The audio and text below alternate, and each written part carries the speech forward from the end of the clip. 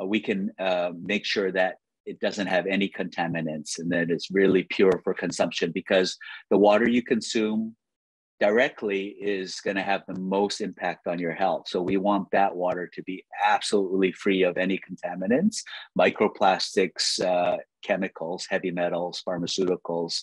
So uh, on a on on one scale, it's whole house and point of use. And then there's the budgetary aspects for people who are limited in budget. Then for water, we definitely want to start off with under sink reverse osmosis. That's going to give them the cleanest water for consumption. And then a portable unit for rooms where people spend the most time bedroom, home office.